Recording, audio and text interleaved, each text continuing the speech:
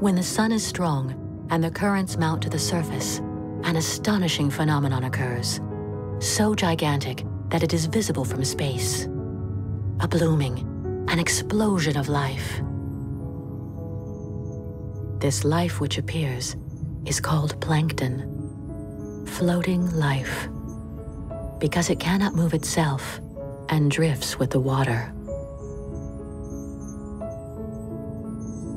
This blooming gets its energy from the sun.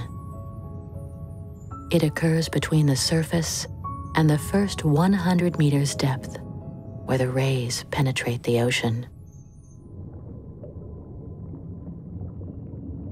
Firstly, there are tiny algae which spread like an immense floating prairie between two expanses of water.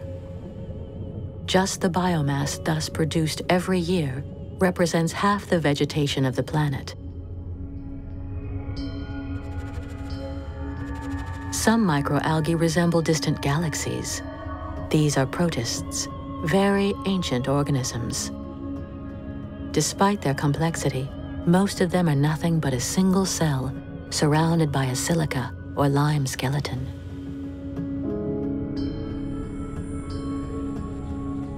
At this level, the distinction between plant and animal is blurred.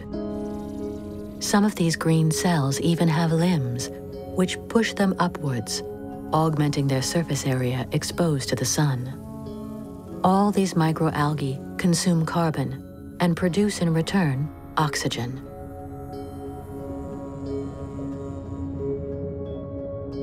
Half of the air we breathe comes from these microalgae. The ocean is the blue lung of the planet.